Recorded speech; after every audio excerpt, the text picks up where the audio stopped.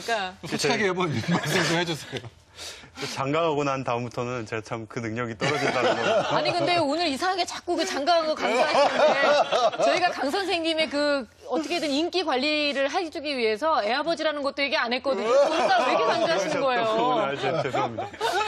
제가 이제 수험생 돌이켜보면은 이제 고3 때 성적을 되게 많이 올렸어요. 그 고득점을 얻어, 얻을 수 있었는데 네. 그 사람들이 물어보잖아요. 비결이 뭐냐고. 저도 제 나름대로 고민을 되게 많이 했거든요. 그래서 제가 가장 큰 차이점 하나를 차- 발견하게 됐어요. 보통 학생들이 공부를 하다가 안 되면은 아까 노 선생님 말씀하신 것처럼 그냥 집어치웁니다. 음. 공부하다가 아, 나 이번 수능 봐봤자 안 돼 막 이런 식으로 틀린 문제가 많이 나오면요. 그 좌절을 하거든요. 정서적으로 되게 이제 막 힘들어하죠. 근데 저 같은 경우는 공부를 하다가 이제 틀린 문제가 나오잖아요. 그러면 어, 이, 그 되게 다행이라고 생각을 했어요. 다행이라고요? 왜냐면 네네. 틀린 문제가 나오면은 이거 예를 들어 이렇게 생각해 보세요. 이 문제를 수능 시험장 가서 만났어요. 어 그럼. 틀리는 거죠. 그러면 수능이 틀리는데 지금 만나서 지금 이제 머릿속에 넣고 거기 가지고 맞추면 되잖아요. 어. 그 얼마나 다행이에요. 네. 물론 뭐 틀린 문제가 많으면 처음에 이제 하다 잘 안 되면 그때는 뭐 욕도 나오고 하지만 어 쨌거나 저는 그런 마음이었거든요.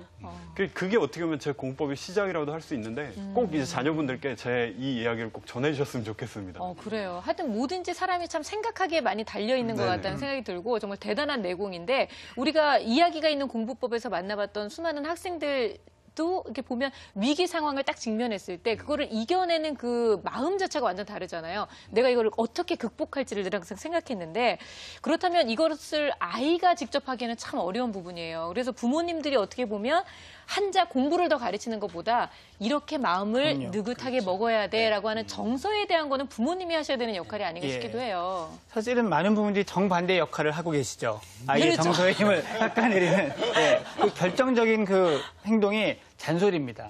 이 음. 격려 없이 하는 결과만 가지고 하는 잔소리거든요. 그게 네. 왜 그러냐면요. 부모님 입장에서는 잔소리 안 할 수가 없다고 하세요. 얘 하는 걸 보면 내가 안 할 수가 없다라고 그렇죠, 하는데 그렇죠. 반대로 학생 입장에서는요. 하느라고 한 거예요.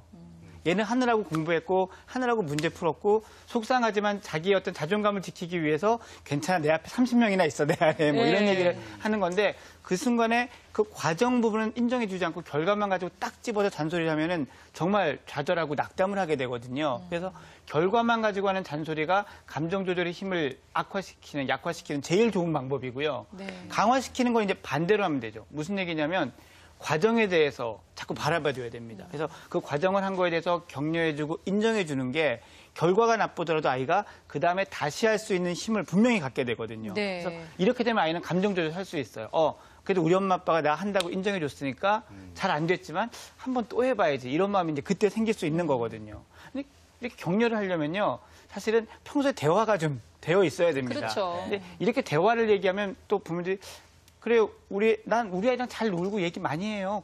이렇게 얘기하시면 따라 붙는 말씀 있죠. 공부 얘기만 빼고요. 네.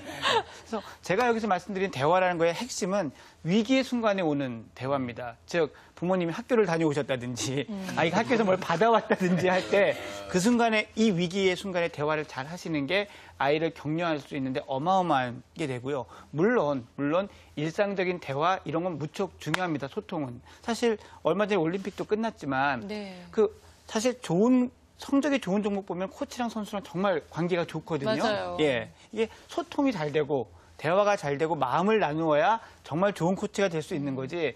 뭘 많이 알아서 자기가 하- 선수 때 잘했어서 좋은 코치가 되는 게 아니라는 점 한 번 더 생각해 주시면 좋겠습니다. 네, 우리가 뭐 사랑의 매는 없다고 하잖아요. 보면 애정 어린 잔소리는 없는 것 같다는 생각이 듭니다. 이게 생각을 좀 버리셔야 됩니다.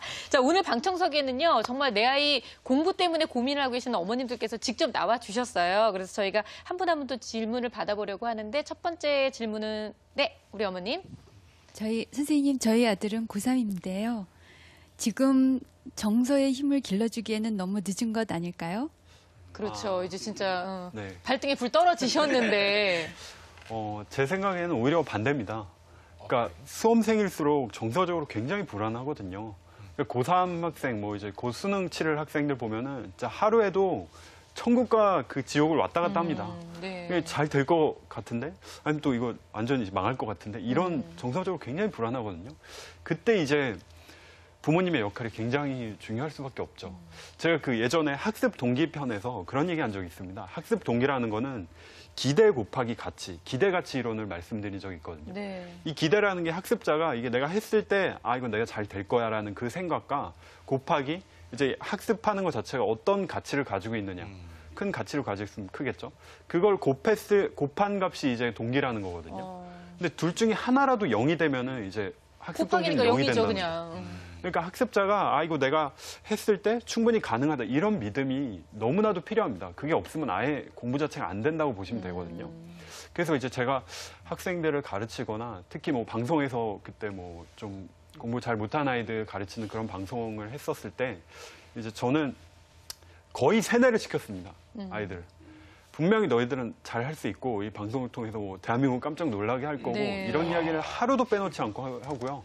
시험 보러 갈 때도 뭐 자신감 그리고 또 괜찮다는 이런 말, 이야기를 해주기 위해서 너희들이 지금 가가지고 시험을 보면 결과가 나오겠지. 성적이 뭐 좋을 수도 있고 나쁠 수도 있는데 뭐 컨디션에 따라 다를 수도 있고 하지만 변화는 없는 거는 너희들이 내 그 동생이라는 거, 음. 내, 내가 멘토고 너희들이 멘티라는 거 이건 변함이 없을 것이다 이런 이야기를 꼭 해주거든요. 부모님들께서도 거의 너희는 가능하다 이런 마인드를 정말